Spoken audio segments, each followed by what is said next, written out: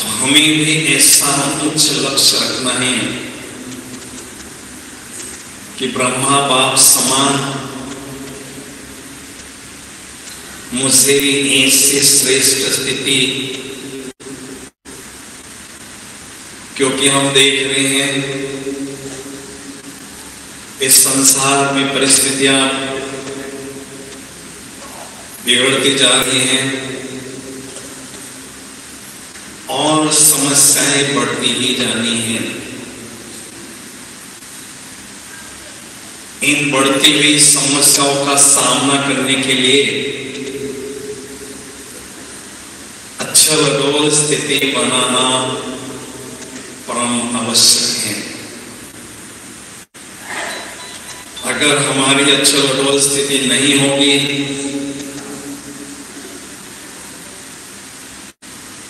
तो परिस्थितियाँ हमें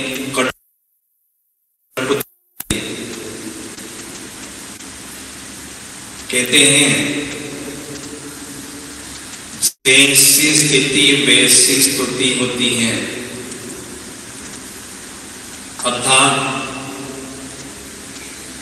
जैसे हमारी स्थिति होती है, लोग हमारी स्तुति करते हैं। जैसे उपस्थिति होती है। अर्थात जहाँ हम जाते हैं, हमारा आभा मंडल स्वतः सेवा करता रहता है। हमारे स्थिति से वाइब्रेशन चारों ओर फैलते रहते हैं। जैसी अवस्था वैसी व्यवस्था अर्थात जैसी हमारी अवस्था होती है वैसी आत्माओं के द्वारा और प्रकृति के द्वारा व्यवस्था होती रहती है। तो इसलिए संगम योगी पुरुषार्थ के जीवन का लक्ष्य हो। चाहे कुछ भी हो मुझसे ऐसी अचल अडोल एक स्थिति बनाना ही। है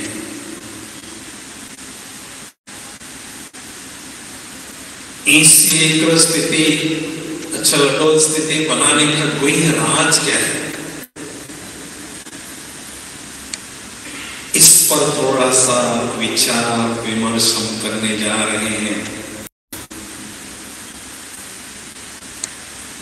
इससे अचल अडोल स्थिति बनाने के लिए पहली बात है, एकांत में बैठकर हमें आत्म अभिमानी स्थिति का अभ्यास बहुत रुचि से करते रहना ज़रूरी है।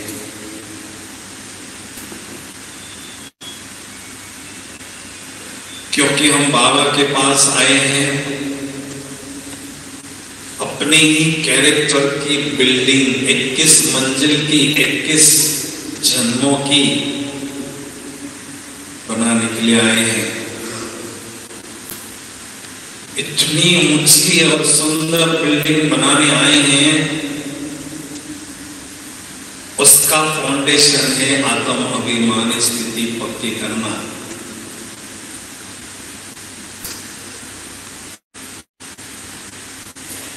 तो फाउंडेशन पर जब हम काम करते हैं, अभ्यास करते हैं, और इधर उधर थोड़ा सा हमारा ध्यान जाता है तो माया उसमें संशय का बॉम्ब रख देती है। और जब संशय का बॉम्ब होता है, गिर जाती है। पूरे नीचे के साथ ज़रूरी है। इसी संदर्भ में अंगद का उदाहरण भी देते हैं। जब अंगद रावण के दरबार में बैठा तो रावण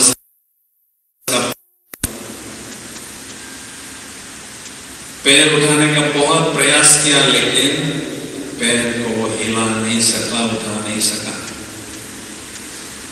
उसका नाम क्या था?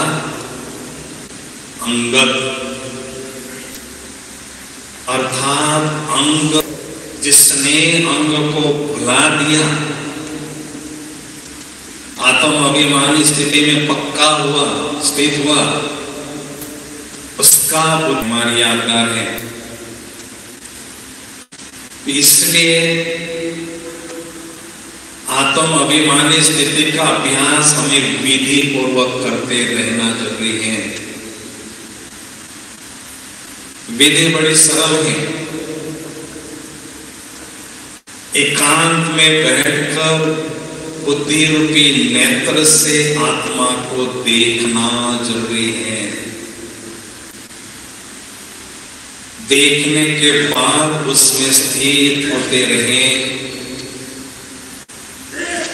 और एक एक गुण की बहुत अच्छी तरह से अनुभूति करते रहे। आत्मा के जो निजी सात गुण हैं, उन गुणों का एक के बाद एक का बहुत सुंदर अनुभव करते रहे।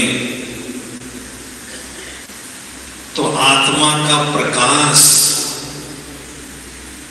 आत्मा का जो आभा मंडल है वो विशाल बनता जाएगा। बाबा, हर मुरली में आत्मा के अभ्यास पर ज़ोर देते हैं। स्वयं को आत्मा समझो आत्मा समझो। क्यों बाबा? महान आत्मा में कूट कूट कर भरा पड़ा है। उसको हमें हटाना है। और 21 जन्म तक नेचुरल आत्मा का भान रहे, उसको हमें जुटाना है। इतना बड़ा होमवर्क हमें पूरा करना है, समय बहुत थोड़ा हमारे पास है। इसलिए ब्रह्मा बाबा ने शुरू दिन से लेकर अंतिम दिन तक इस अभ्यास को नहीं अच्छा डोल स्थिति बनाने का गुहराज दूसरा ये है। ऐसी श्रेष्ठ स्थिति बनाने के लिए सदा सोमान के सिंहासन पर बैठे रहना ज़रूरी है। हम बहुत रॉयल बाबा के बच्चे हैं। बाबा ने हमें आते ही सोमान का सिंहासन बैठने के लिए दिया। तो सोमान के सिंहासन पर बैठने से ईश्वरीय नशे की खुशी बहुत सुंदर अनुभूति हमें होती है। और जब ईश्वरीय नशा और ईश्वरीय खुशी की अनुभूति बढ़ती है तो मन और दिल की अनुभव करती है और हमें परम धाम की ओर ले जाने का काम करती है। अगर सोमान में हम नहीं रहते हैं तो ये पुरानी दुनिया के प्रभाव में ही हम रहते हैं इसलिए कहते हैं। जितना ईश्वरीय नशे में चूर उतना इस पुरानी दुनिया से दूर हम स्वयं को अनुभव करते हैं।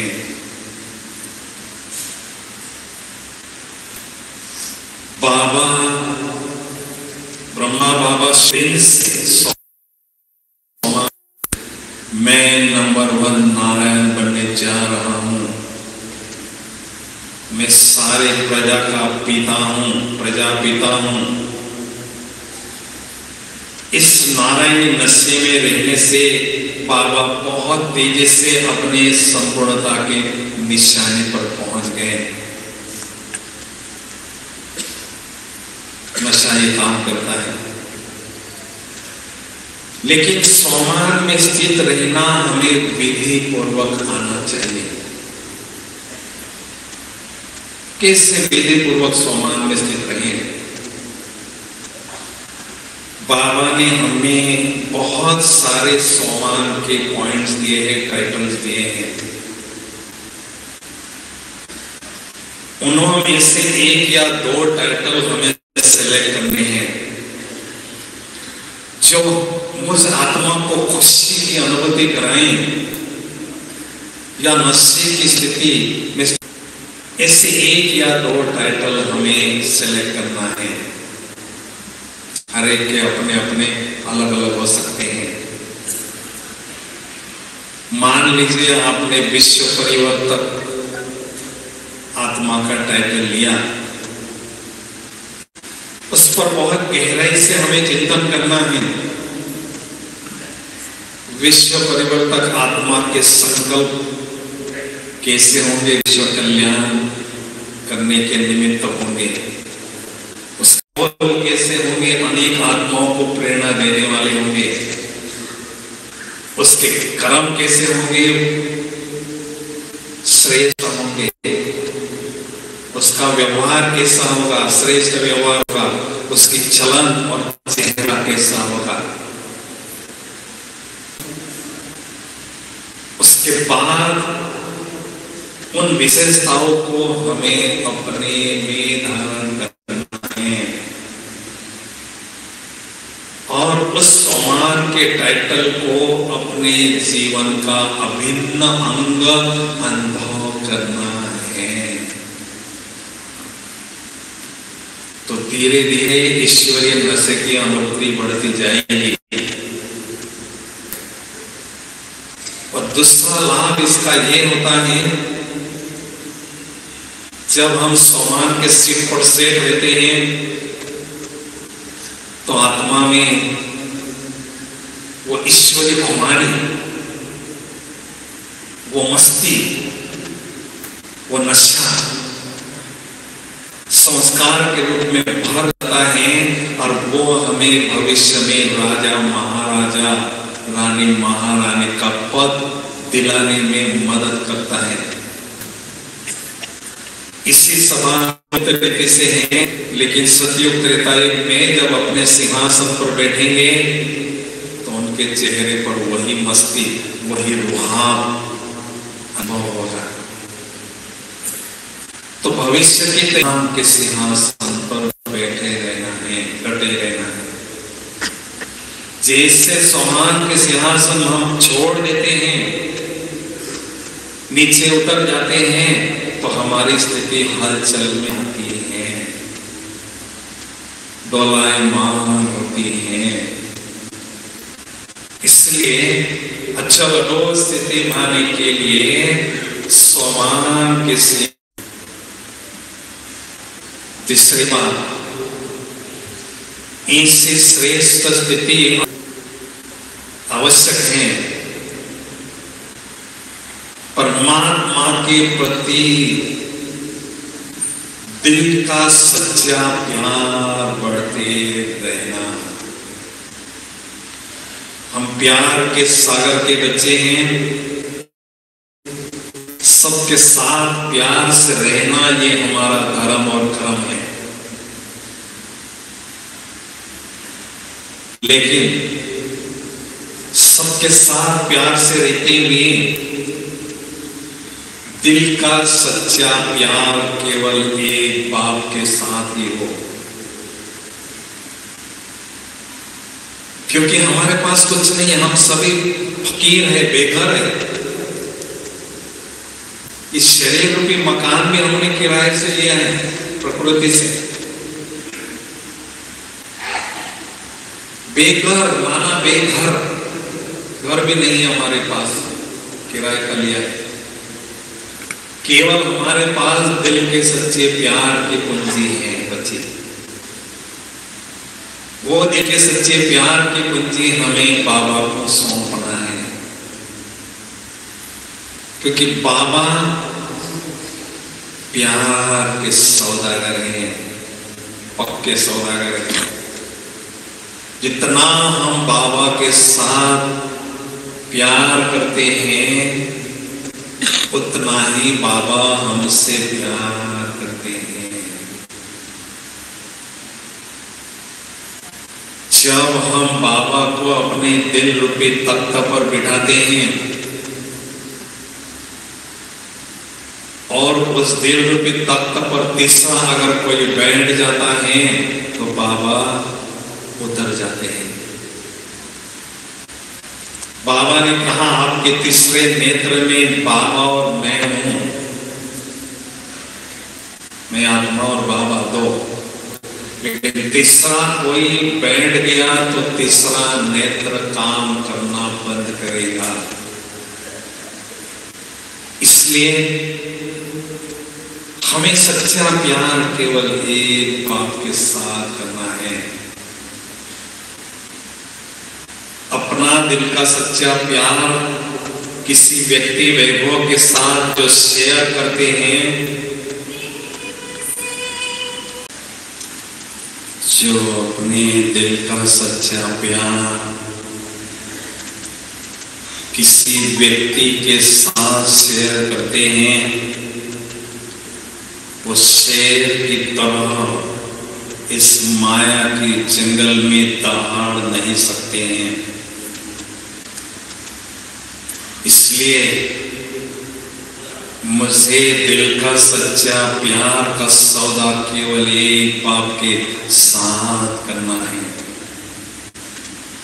क्योंकि प्यार एक ऐसी चुंबकीय शक्ति है जो हमारे और बाबा के बीच में जो हज़ारों मीलों की दूरी है आमने सामने मुलाकात की अनुभूति कराता है। कंबाइंड स्थिति की अनुभूति कराता है। इसलिए जब बाबा से सच्चा दिल का प्यार बढ़ने लगता है, लंबे समय तक बाबा के साथ परम धाम में हम बैठे रहते हैं। जितना लंबा समय तक बाबा के साथ बैठते हैं, उतनी बाबा से शक्तियाँ लेते ही रहते हैं, जिससे हमारी स्थिति परिपक्व बनती जाती है। इसलिए कहते हैं, जहाँ प्यार, वहाँ बुद्धि की तार स्वतः जुड़ जाती है।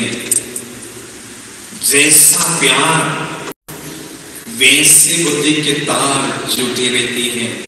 हमारी तार बुद्धि की जुटी रहती है। यही परमात्म प्यार हमें इस दुनिया से पार ले जाता है। ऊंचते उच्च परम धाम में बिठा रहता है। जिसके बाद डोल स्थिति बनाने के लिए चौथी संबंधों की अनुभूति को बढ़ाते रहें। क्योंकि हम देखते हैं, अभी 84 जन्म में हम बैठे हैं 83 जन्म में पाठ हमने बजाया है। इसलिए अनेक आत्माओं के साथ हमारा पॉजिटिव तथा नेगेटिव अकाउंट है। इसलिए न चाहते हुए कभी किसी व्यक्ति के साथ व्यक्ति के तरफ़ लगाव झुकाव होने की संभावना होती है। लेकिन जो बाबा की हम हर रोज पालना, ज्ञान और योग की लेते हैं, उस पालना के द्वारा, उस हिसाब किताब को हमें पूरा करना है, खत्म करना है। साथ साथ एक स्थिति बनाने के लिए एक से ही सभी रस प्राप्त करते रहे। एक बाबा से ही सर्व संबंधों की अनुभूति करते रहे। क्योंकि बाबा सर्व रसों के भंडार हैं। बाबा सर्व प्राप्तियों के भंडार हैं। बाबा सर्व संबंधों के सक्रिय हैं। बाबा हमें ऑफ़र करते हैं। कि मैं 24 घंटे आपके सेवा के लिए हाजिर हूँ। तो बाबा के साथ एक सेकंड भी हमारी बुद्धि रहती है तो अनेक पद्मों की कमाई हमारी होती है। तो जास्ते से जास्ते कमाई करने के लिए, जास्ते से जास्ते समय बाबा के संग में रहें। लेकिन बिंदी समझकर बिंदी बाप के साथ रहना थोड़े समय के बाद बोर अनुभव होता है। इसलिए मनुष्य का ये नेचर है, इसलिए सारे दिन भर में योगाभ्यास में रुचि बनी रहे। इसलिए बाबा के साथ सर्व संबंधों की अनुभूति और वो भी विधि पूर्वक करना है। शिव बाबा, ब्रह्मा बाबा के तन में, फरिश्ता स्वरूप में, फरिश्तों की दुनिया में है और मैं आत्मा भी अपने फरिश्ता स्वरूप में बाबा के साथ हूँ। और इस रीति से बाबा के साथ विभिन्न संबंधों की अनुभूति करते रहे। और साजन सजनी का संबंध अनुभव करना है तो वो परम धाम रूपी पीस पैलेस में करें। मैं निराकारी आत्मा सजनी हूँ, और बाबा सलोने शिव बाबा मेरे साजन हैं। ऐसा बड़े प्यार से अनुभव करके बाबा से सर्व रसों की अनुभूति करें। क्योंकि बाबा सुख के सागर हैं। आखिरी जो प्राप्ति हमें होती है वह सुख के रूप में ही होती है। और बाबा सुख के सागर है। सुख के सागर ही हमें मिल जाते हैं तो आत्माओं से संबंधों की अनुभूति करके, अल्पकाल की सुख की अनुभूति करना ये इच्छा समाप्त हो जाती है। और हम बाबा को ही अपना संसार अनुभव करने लगते हैं। संसार में रहते भी एक बाबा को अपना संसार अनुभव करते हैं। ये संसार में दो ही चीज़ें हैं, व्यक्ति और वैभव। जो प्राप्तियाँ व्यक्ति वैभव से होती हैं, वो प्राप्तियाँ हमें बाबा से ही करनी है। क्योंकि देखो दोनों में बहुत अंतर है। व्यक्ति वैभव के साथ बुद्धि जुट जाती है तो शक्तियाँ हमारी खर्च होती हैं। और बुद्धि हमारी परमात्मा के साथ जुड़ती है तो हमें शक्तियाँ मिलती है। कितना अंतर है। क्योंकि बाबा के प्रचंड स्रोत हैं तो जब बुद्धि हमारी जुड़ जाती है तो हमें शक्तियाँ मिलती है। और वर्तमान समय है, आत्मा रूपी बैटरी को चार्ज करना शक्तियों से भरपूर करना। इसलिए कोई भी ऐसा लौकिक संबंध न हो जिसमें हमारी बुद्धि बार बार आकर्षित होती है। जैसे कृष्ण को सृष्टि के ग्लोब पर बैठा हुआ दिखाते हैं बांसुरी बजा रहे हैं टांग पर टांग लेटे हुए हैं। बैठे हैं उनका नाम क्या है? मोहन मोहन के साथ हमें अगर सतयुग में राज करना है तो मोहन जैसा ही हमें न्यारा प्यारा बनना होगा। तभी हम संस्कारों का राज करेंगे तो सतयुग में स्थूल राज करने का सौभाग्य हमें मिलेगा और पांचवी बात है अच्छा वर्गोल स्थिति बनाने के लिए आत्मा की है, उन विकारों के अंश को जड़ से खत्म करना ज़रूरी है। वैसे का अभ्यास तो हम हर रोज करते हैं, फिर भी हमारे संस्कारों में परिवर्तन अनुभव नहीं होता है। विकारों के जो अंश वंश है, वो समाप्त नहीं होते हैं। कभी कभी हमें आवेश आता है कभी कभी चिड़चिड़ापन आता है, कभी फीलिंग आता है। तो आत्मा में जो विकारों के अंश बाकी हैं उनको खत्म करने के लिए शक्तिशाली योगाभ्यास करते रहना ज़रूरी है। शक्तिशाली योगाभ्यास से ही ये काम संभव है। इसलिए जब भी हम अमृत वेले या नमा शाम के समय योगाभ्यास करते हैं, उस समय इसी शक्तिशाली योग में अनुभूति करें। उसके लिए परम धाम में जब हम बाबा के पास बैठते हैं तो मन की बैठक शक्तिशाली अर्थात बाबा सर्वशक्तिमान है तो मैं आत्मा मास्टर सर्वशक्तिमान हूँ। बाबा ज्ञान ज्ञानश्वरी हैं तो मैं भी आत्मा मास्टर ज्ञान ज्ञानश्वरी हूँ। ऐसे पावरफुल जब हम बैठते हैं तो बाबा जो स्पिरिचुअल पावर हाउस है, उनसे हम अथाह शक्तियाँ स्वयं में ग्रहण करने लगते हैं। जिससे ऐसी शक्तिशाली योगाभ्यास की अनुमति होती रहती है। अगर हम साधारण रीति से बाबा के पास बैठते हैं तो साधारण स्थिति की ही अनुभूति होती है। इसलिए परम धाम में बाबा के पास बैठते समय शक्तिशाली स्थिति में ही बैठना है। तभी अमृत सागर बाप से शक्तियों का अमृत हम प्राशन कर सकते हैं। तो अक्षल अटोल स्थिति अगर आत्मा में विकारों के अंश होंगे तो स्थिति हलचल में आने की संभावना होगी। माया सूक्ष्म रीति से वार कर सकती है। स्थिति को डोलायमान बना सकती है। इसलिए हमें को समाप्त करने का पुरुषार्थ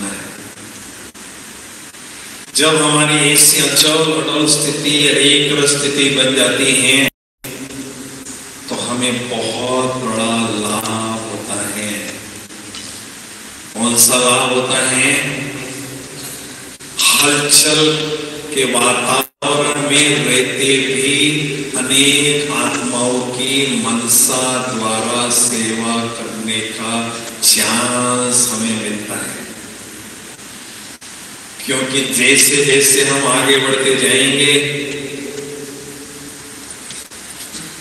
हलचल करने वाली बातें हमारे सामने आएगी और आत्माएँ शांति और शक्ति की चाहना रखकर आपके पास आएगी। तो आप अपने के द्वारा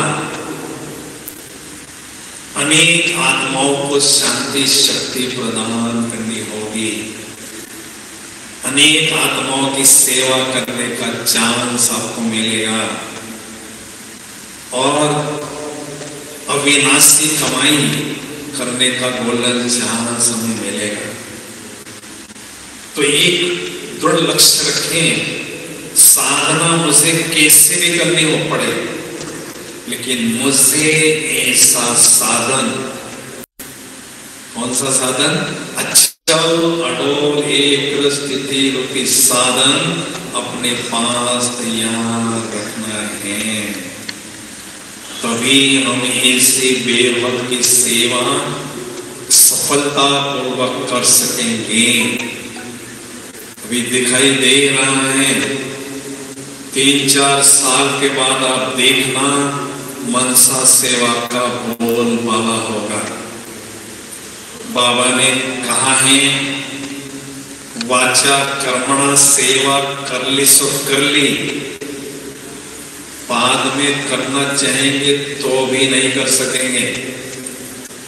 क्योंकि माहौल ऐसा होगा परिस्थितियाँ ऐसी होगी, जो आत्माएँ हमारे पास नहीं आ सकेगी और हम आत्माओं के पास नहीं जा सकेंगे।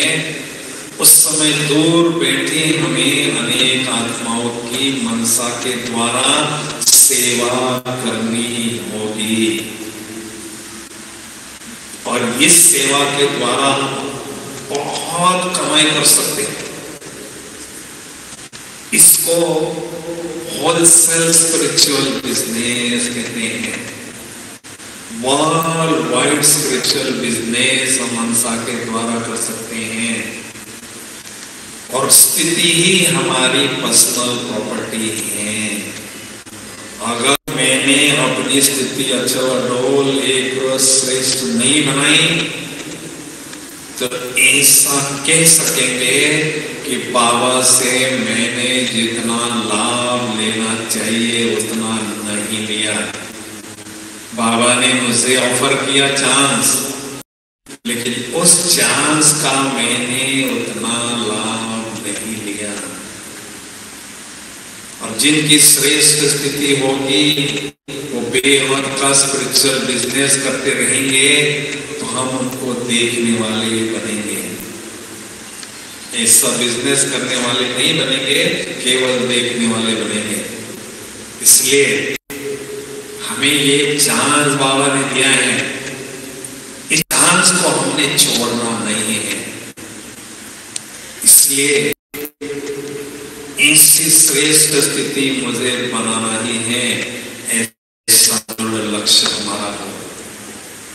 क्योंकि जैसे हमारी स्थिति श्रेष्ठ होती है, ऊँची होती है, लोगों का दृष्टिकोण भी हमारे प्रति ऊँचा होता है। ब्राह्मण जीवन में